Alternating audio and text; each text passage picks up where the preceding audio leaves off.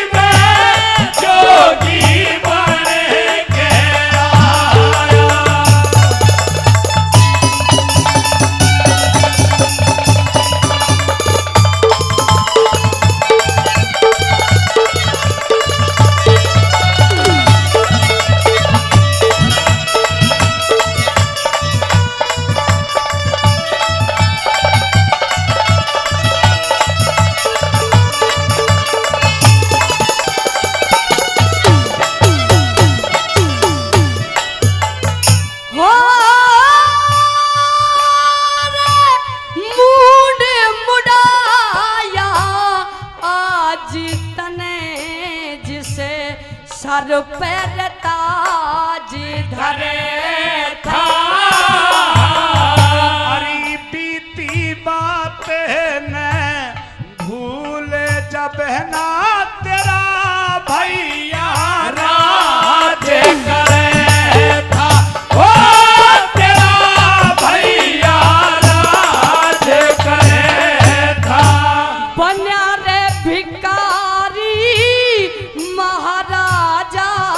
तेरी जगत लिहाज करे था।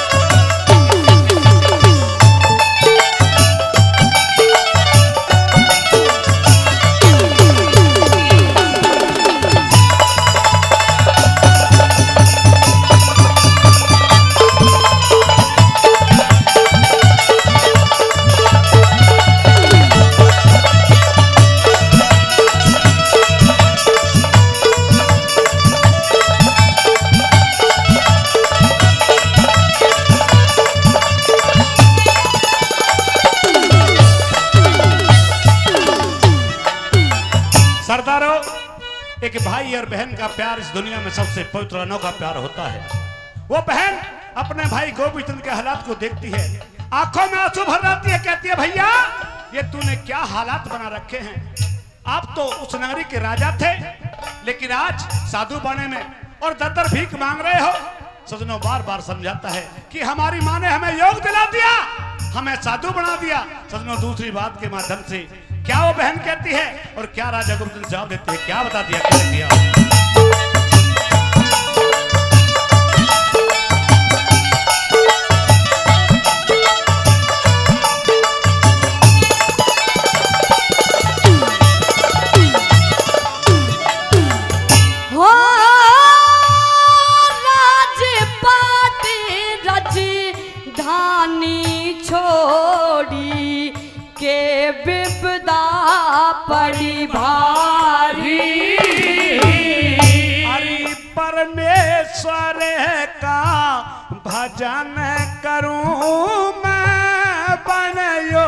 योगी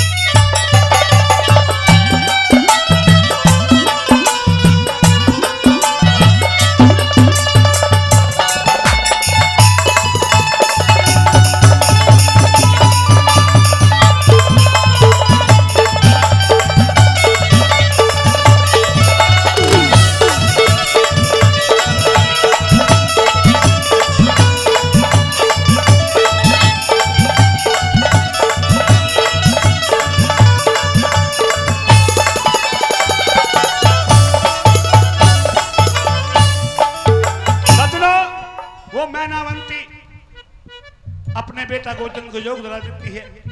और गुरु आदेश करते हैं कि तेरी परीक्षा हो रही है।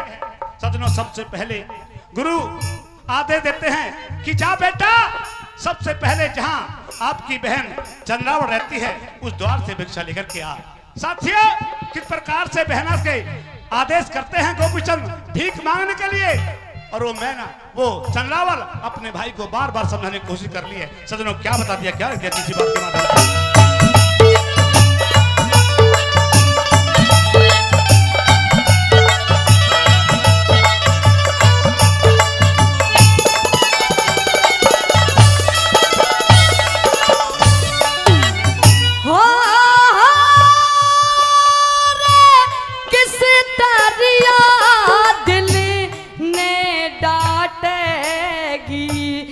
घर में रसोला रानी।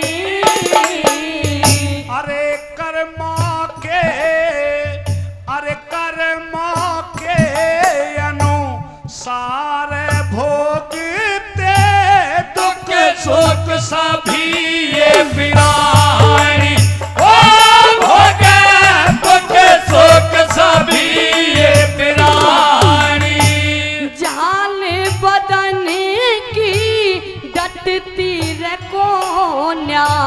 चढ़ती हुई रे जवानी।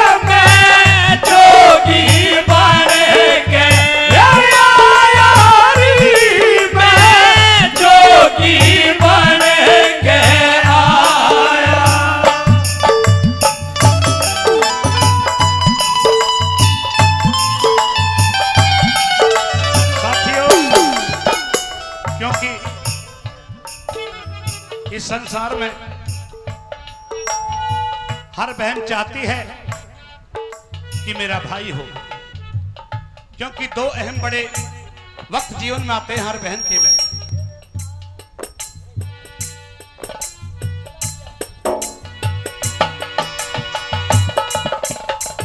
हेलो। जब रक्षाबंधन का त्योहार आता है तो हर बहन चाहती है कि मैं अपने भाई की कलाई में रक्षा का सूत्र बांधूं। और दूसरा वक्त सरदार वो आता है, जब उस बहन के बच्चे शादी के योग हो जाते हैं। सरदारों कहते हैं कि भाती एक रुपए का हो या लाख रुपए का वक्त की शोभा होता है। लेकिन संसार में ना जाने ऐसी कितनी बहनें हैं जिनको भगवान ने भाई नहीं दिया। सबका बेड़ा पार वो परम पिता परमात्मा लगाता है। तू भी उसी पर विश्वास कर ले तेरा भी बेड़ा पार हो जाएगा। सतना अपनी बहन को समझाते हुए वो गोपीचंद अपने दिल को थामता हुआ उस भक्ति में लगाता है, आँखें भर आती है। उस परम पिता परमात्मा को याद करने लगा। चला अभियान